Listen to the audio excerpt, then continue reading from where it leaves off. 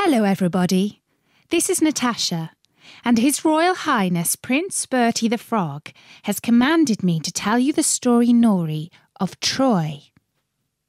Bertie told us recently how Paris, Prince of Troy, ran away with a Greek queen called Helen, the most beautiful woman who ever lived. That was the cause of the great war between the Greeks and the Trojans. And now here's the second part of the story how the Greeks fought the Trojans. It was told thousands of years ago by a blind poet called Homer. But today I'm going to tell you Bertie's version, which is rather shorter, but still very interesting. Each of the great cities of Greece sent an army to join the war against the Trojans. Each, that is, except for one the city of Thebes refused to join the war, saying that it had no quarrel with the faraway Trojans. And so the Greek king Agamemnon decided to teach the Thebans a lesson. He ordered his men to destroy their beautiful city and take its treasure. And that is exactly what they did. While the ruined city of Thebes was still burning, the greatest of the Greek warriors shared out the prizes of war. King Agamemnon chose for himself one of the captives, a beautiful young girl called Chryseis, a priest's daughter. Agamemnon told her that she must live with him from now on and be his slave. The girl wept bitterly and begged to be returned to her father, but King Agamemnon had a cruel heart and was unmoved by her tears. Eventually, the Greek ships reached Troy, and the army set up a vast camp on the beach not far from the city. One evening, the good old priest, who was the father of Chryseis, arrived at the camp and asked to meet King Agamemnon and all the greatest of the Greeks. And this is how he spoke. O Agamemnon, leader of men, may the gods grant your wish to destroy the magnificent city of Troy, and may all the Greeks return home safely in their black ships. But grant me this favour. Free my daughter, and accept in her place a gift of great treasure that I have brought for you. The Greek army cheered the old man for his generous offer and for the love that he had shown for his daughter. But Agamemnon flew into a rage. Old man, said he, let me not find you hanging about our ships, nor coming here again. I will not free your lovely daughter. She shall grow old in my house in Argos, far from her home. So get out of my sight right now, or it will be the worse for you. The priest was afraid and swiftly left.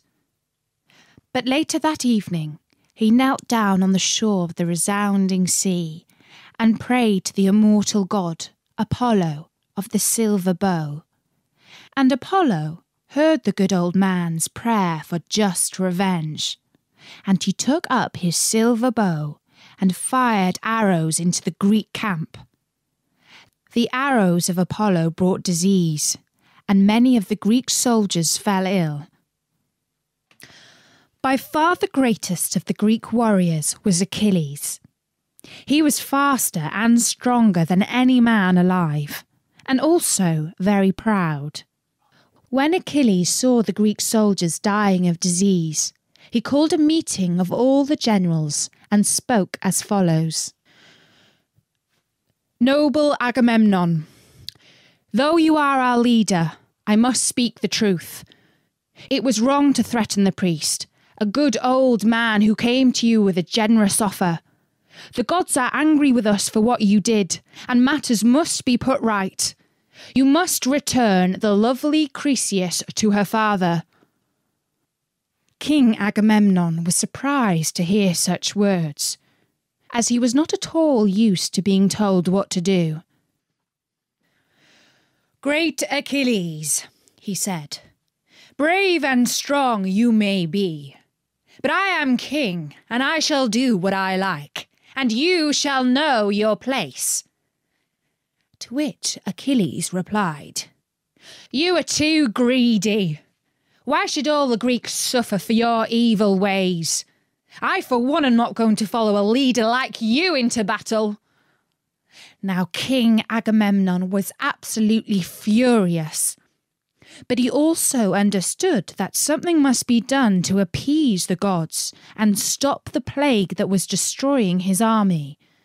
And so the next day, he ordered a boat to take the young girl back to her father. But he also sent messengers to the tent of Achilles and ordered him to hand over his own slave girl. And from that moment on, the pride of Achilles was so hurt that he refused to take part in the battle for Troy, but instead stayed inside his tent and sulked while the Greeks went out and fought.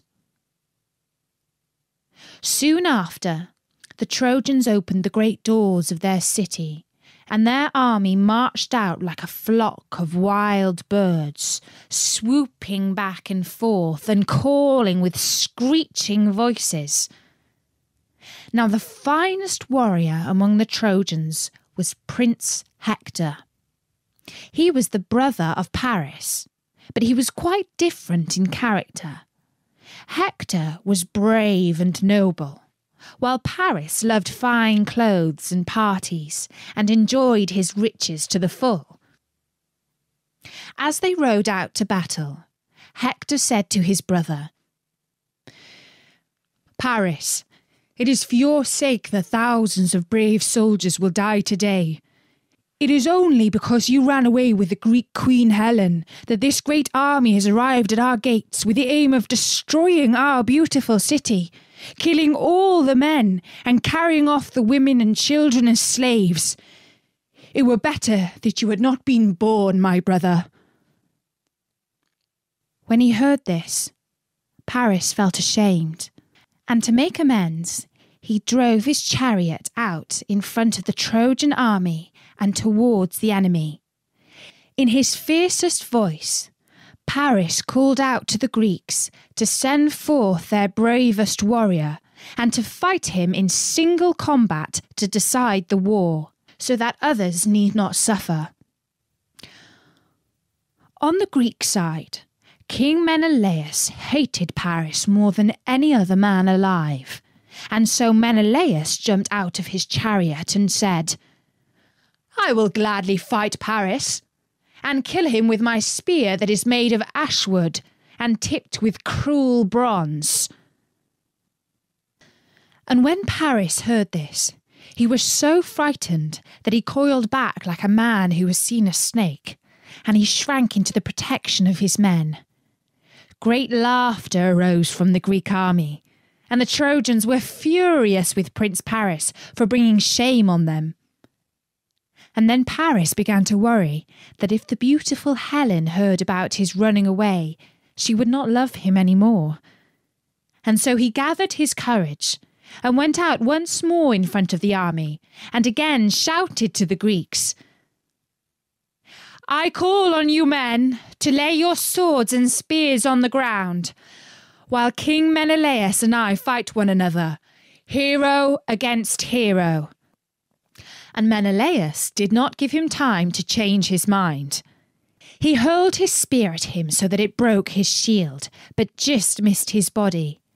Paris fell backwards, and soon Menelaus was on him, dragging him by the plume of his helmet towards the Greek army. But the goddess of love, Aphrodite, who was fond of Paris, saw what was happening and came to his aid, disguised as a cloud. She scooped him into her lovely arms and whisked him back to his palace, where the fair and fragrant Helen was waiting for him. And so the Greeks and the Trojans fought each other in battle. Many brave soldiers were killed and wounded on both sides. But so long as Achilles refused to help the Greeks, the Trojans were stronger and drove the Greeks back to their camp. At night, a thousand campfires glowed upon the plain, and by the light of each fire, there sat fifty men, while the horses champed oats and corn beside their chariots, and waited for dawn to come. The Greeks begged the great warrior Achilles to come out and fight, but still he refused to join the battle. But his best friend, whose name was Patroclus, came up with a cunning plan. He secretly put on the magnificent armour of Achilles and went out into the battle, looking exactly like the great hero. He knew that when the Greeks saw him, they would gain courage at the sight of Achilles and fight with redoubled strength. And when the Trojans saw him, they would think that the warrior they most feared had returned and would lose heart. When the Trojans saw Patroclus dressed like Achilles, Prince Hector flew at him with his spear and killed him. Only then did he discover that it was not Achilles whom he had killed, but Patroclus. When the mighty Achilles heard that his best friend had been killed by Hector, his anger and sorrow were great in equal measure. He stood up before a meeting of the Greek army and said, As you know, King Agamemnon has insulted me, and I have every right not to fight in this stupid war. But now things have changed. My best friend has been killed by Prince Hector of Troy.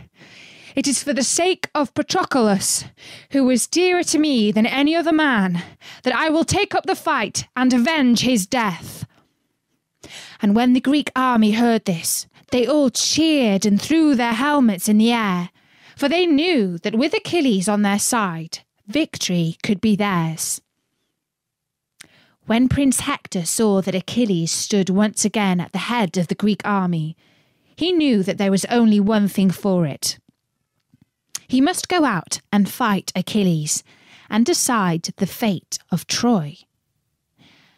As he was leaving for battle, he went in search of his wife, the lovely Andromache. He found her walking along the great walls of the city, holding their little baby in her arms. When she saw her husband, Andromache said, Brave Hector, I beg you, do not go out today to fight Achilles. What will I do when you are gone? Think of your little son. What use is a father to him if he is dead? But Hector replied that he could not refuse to fight, as the Greeks and the Trojans would say he was a coward. He stretched his arms towards his child. But when the boy saw the horsehair plume that nodded fiercely from his father's helmet, he was scared and cried, nursing his head into his mother's bosom. His father and mother laughed to see him, but Hector took the helmet from his head and laid it all gleaming upon the ground. Then he took his darling child, kissed him, and dangled him in his arms, praying over him to Zeus, the king of all the gods. Mighty Zeus, he said, may one day people say that this child is even braver than his father and a mightier warrior in battle, so that their praise gladdens the heart of his mother. Hector rode out before the gates of Troy. Achilles, seeing him, started to run with all his might towards Hector, ready to hurl his spear at his hated enemy. Hector jumped from his chariot and stood firm waiting to meet his enemy. But secretly he thought to himself, What if I were to lay down my shield and helmet, lean my spear against the wall, and go straight up to noble Achilles? What if I were to promise to hand back Helen, who was the cause of all this war, and to let the Greeks take half of all the treasure in the city? But why argue with myself this way? Were I to go up to him now, he would show me no mercy. As he pondered, the swift footed Achilles charged up to him as if he were Ares himself, the plumed god of battle. The bronze tip of his spear gleamed around him like the rays of the rising sun. Fear came over Hector, and he turned and ran. while Achilles darted after him at his utmost speed. As a mountain hawk, swiftest of all birds, swoops down upon some cowering dove, that is how Achilles made straight for Hector with all his might, while Hector fled around the city walls as fast as his legs could carry him. Achilles chased Hector three times around the walls of Troy, until at last Hector turned and fought. First, Achilles threw his spear at Hector and missed. Then Hector threw his spear at Achilles and hit his shield, but did not break it. Then they fell upon each other with clashing bronze swords, and Achilles, for he was the stronger hero, killed Hector. When they heard the sad news, all the women of Troy wept for the loss of their greatest hero, but none wept more than his wife, Andromache. Now that the finest hero of the Trojans was dead, the Greek army thought that they would soon win the war. King Priam of Troy greatly grieved the loss of his bravest son and feared that the city would soon be defeated. But this is not how things turned out. Not yet. For Apollo, the winged god of the silver bow, again decided to help the Trojans. One day, in the midst of battle, he came up to Prince Paris and spoke to him as follows Hail, Paris, Prince of Troy! Lift up your bow and fire an arrow into the Greek army. I will guide its point into Achilles and kill him. When he heard this, Prince Paris replied, Almighty Apollo, I will gladly do as you ask, but will I not just waste my arrow? For everyone knows that when Achilles was a baby, his mother dipped him in the river Styx that runs through the underworld, and as a result, no weapon can wound him, for the waters of the river Styx make a man immortal. And Apollo replied, Paris, you speak the truth, but the gods gave the great Achilles a choice. He could lead a short and glorious life, or a long and boring one. He chose glory, and so his life must be short. And so Paris dipped his arrow in deadly poison and fired it into the air. It flew in an arc, and its poisoned tip drove into Achilles' heel, for when Achilles' mother had dipped him in the river of the underworld, she had held him by his heel, and no water had touched it. And now Achilles fell from his chariot, and soon his great body lay on the ground, dead. And that is the story of how the Greeks and the Trojans fought for nine years without either side gaining victory. Many brave warriors died on either side, and many tears were shed over lost sons and lost friends. Soon I will tell you how the war ended with a cunning trick. And Bertie is reminding me not to forget to tell you about the wooden horse. Sorry, Bertie, there wasn't time for the wooden horse this time, but I truly promise to tell everyone all about it soon. But for now, from me, Natasha, Bye bye.